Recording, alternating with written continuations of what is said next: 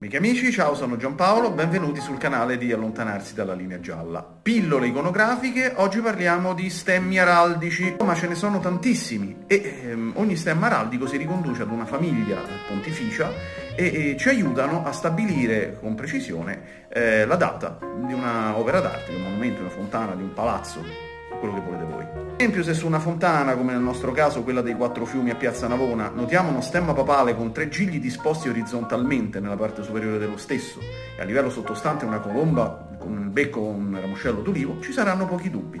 Siamo di fronte ad un'opera finanziata dalla famiglia Panfili. La famiglia Panfili ebbe il suo massimo rappresentante nel Seicento in Papa Innocenzo X, sì, proprio questo qui effiggiato da Velázquez. Innocenzo X fu uno dei protagonisti della Roma barocca e non avremo difficoltà a trovare il suo stemma familiare sulle opere griffate da Borromini, da Bernini e da Pietro da Cortona.